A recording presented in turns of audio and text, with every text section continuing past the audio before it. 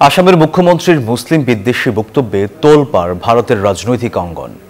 সাম্প্রদায়িক উস্কানিমূলক বক্তব্য প্রদানের অভিযোগে রাজ্যটির মুখ্যমন্ত্রী হিমন্ত বিশ্ব শর্মার বিরুদ্ধে মামলা করেছে আঠারোটি রাজনৈতিক দল। কয়েকদিন আগে আসামের নাগাঁওয়ে চোদ্দ বছর বয়সী এক কিশোরী ধর্ষণের শিকার হয়। সম্প্রতি আসামের বিধানসভার অধিবেশনে দেওয়া বক্তব্যে ধর্ষণের ওই ঘটনার জন্য রাজ্যের মুসলিম সম্প্রদায়কে দায়ী করেন রাজ্যের মুখ্যমন্ত্রী হেমন্ত। এমনকি মিয়া মুসলমানরা রাজ্য দখল করে নিচ্ছে বলেও তিনি অভিযোগ করেন।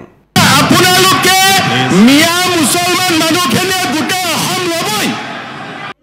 বিরোধীদের অভিযোগ লোকসভা নির্বাচনের সময় থেকে মুখ্যমন্ত্রী রাজ্যে সাম্প্রদায়িক দাঙ্গা বাঁধানোর চেষ্টা করেছেন সম্প্রতি রাজ্যের মুসলিমদের নিয়ে তিনি যে মন্তব্য করেছেন তা আপত্তিজনক এমন মন্তব্যের জেরে তার বিরুদ্ধে রাজ্যের আঠারো বিধায়ক মামলা দায়ের করেছেন तीन करोड़ चालीस लाख लोगों की सेफ्टी सिक्योरिटी मुहैया करना ये चीफ मिनिस्टर की रेस्पॉन्सिबिलिटी है जिम्मेदारी है आपको इस जिम्मेदारी लेना पड़ेगा ভারতের আসামের চল্লিশ শতাংশ মুসলিম। সেই সাথে রাজনীতিতে তার রয়েছে শক্ত অবস্থান। উনিশশো একান্ন সালে এ হার ছিল মাত্র বারো শতাংশ।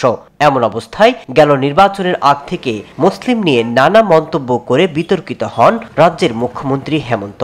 এমন অবস্থায় নতুন করে মন্তব্য করাই উত্তপ্ত রাজনৈতিক অঙ্গন। Masud Rana, news twenty